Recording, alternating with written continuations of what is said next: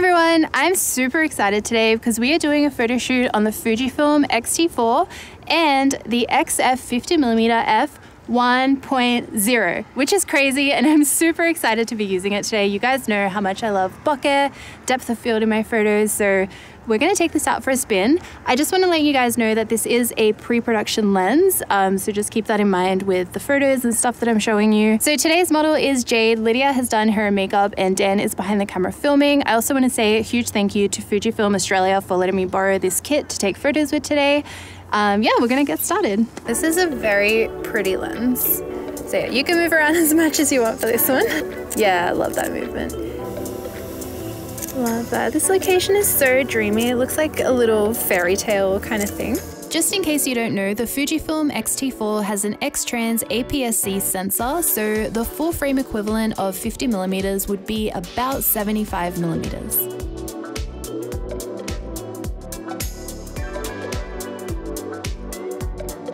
And I'll get like a couple of close-ups here as well. Since this is a pre-production lens and the first time I'm using it at a photo shoot, I decided to use my own focus point just to make sure I have focus right where I want it. And then I was thinking, I love these little white flowers. Do you want to, you can kind of like crouch there facing out towards the building. Yeah, that's perfect. Beautiful. I was able to capture some really sharp photos at such a shallow depth of field. This lens is very reminiscent of f1.2 and f1.4 lenses on full frame cameras where the eyes attack sharp and the rest of the skin and texture melts away in a photo, which is such a flattering look for portraits. Do you want to do some with the jacket, maybe like off your shoulders? Yeah, I like that, yeah. Yeah, I'll get like a mid-length shot there. Love that.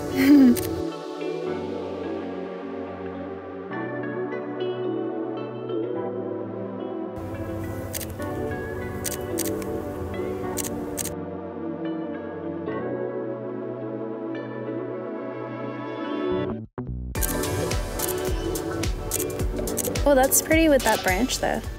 By the way, I edited this set with a new preset pack that I've been working on recently, and it's called Palm Valley. I'll leave a link in the description if you guys wanted to check it out and see some more example before and after images from some different photo shoots.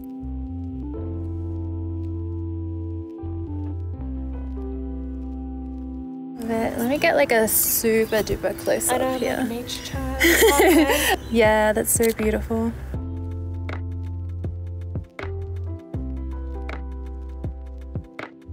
Oh, that looks really cool there. Again, this location's like really bringing out the color of your eyes. I feel like they look extremely green. Compliments galore around here.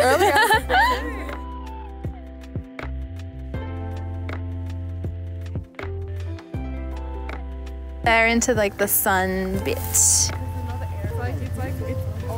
Oh my god, that looks so good there.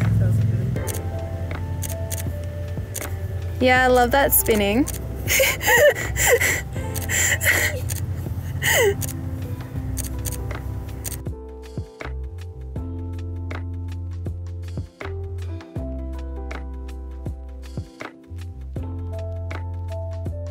well, that looks really nice with you like walking away from me. Where I felt this lens really shined is while we were taking these backlit photos. The sun was super low and quite bright for sunset, but this lens handled the backlight really well. There is still a nice amount of contrast in my shots, it handled the crazy lighting well, the color rendition straight out of the camera is really nice with soft, creamy colors, even though I did have my white balance set a little bit cooler than I probably should have for the raw photos, but I fixed that up later. And it had no issues focusing in this bright backlit either, as I had a bunch of photos in focus to choose from. All right, you can toss the jacket off. It's like, it's just mine anyway, so.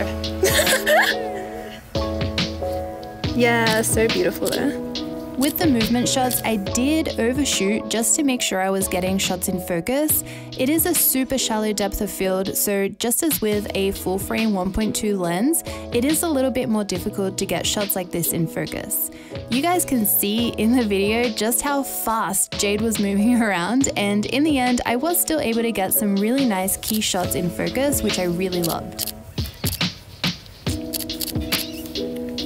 Oh, that looks so nice there. You want to just like flick your hair over again, yeah.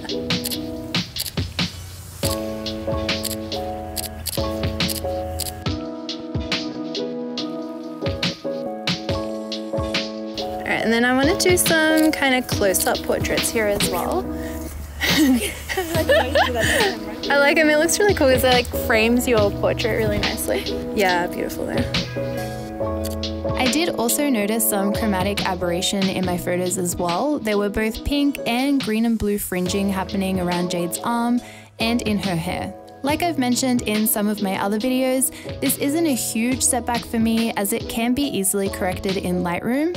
I did leave them in the photos throughout this video as well so you guys can see what it looks like.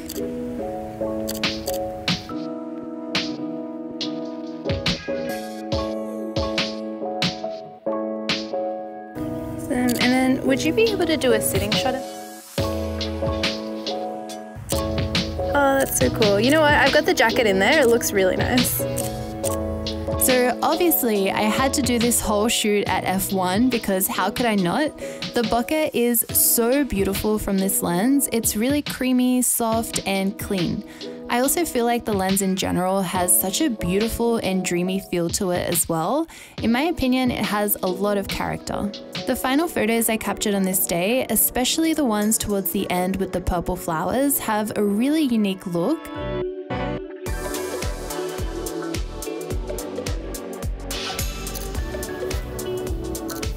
Let me see if we get like a landscape shot here. Oh, that's nice if you can hold that for a second.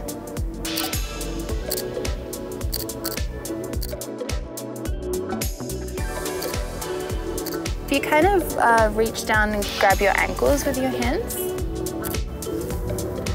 And I actually really like it when you were like that, but kind of looking out that way, yeah.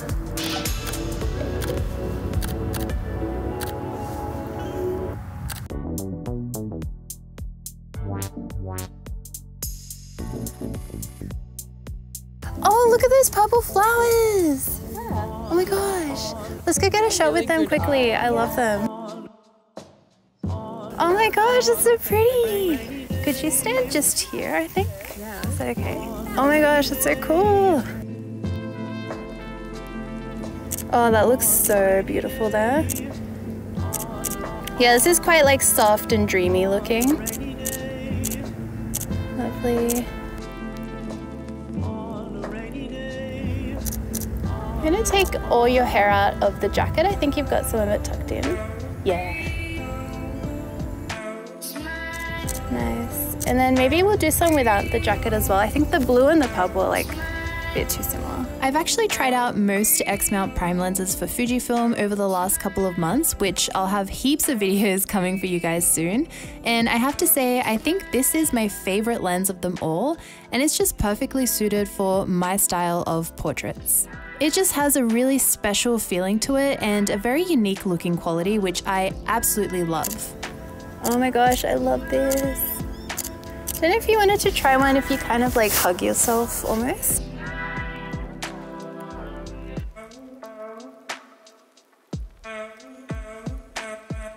Finally, we have the lens flare, which is absolutely gorgeous.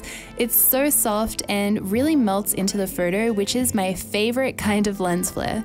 I don't like it when lens flares have really prominent shapes and colors, so this flare gets my tick of approval. Do you mind doing like a little slow kind of spin on the spot?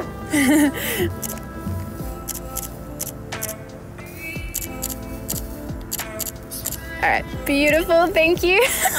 Before you fall over. There's some really nice oh, ones in yeah, there. okay, the, you definitely, I was like, oh god, mine's like I know so it like feels kind of crazy, but yeah, like it I looks feel good. Like I'm just like, I feel like you commit like to the spin and then you open your eyes and open Can I just get one more shot of you? You can leave the jacket on just here. I wanted to try and get a lens flare with this as well. There we go.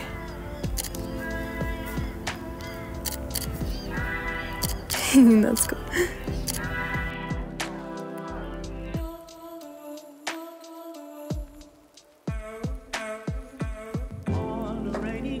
So that is all we have for today's photo shoot on the X-T4 and the XF 50mm 1.0. I would love to know which ones were your favorite photos down in the comments below and also what you thought of this lens as well. You would have heard what I thought throughout the video. I hope you enjoyed seeing all the unedited photos as well. I had so, so much fun using this today. It was really cool. And we also had really cool locations too. But if you enjoyed this video, I'll leave a playlist link down below of some other Fujifilm photo shoots that I've done. But otherwise, thank you so much for watching. I make new videos every single week, so I'll see you guys all next time. Bye.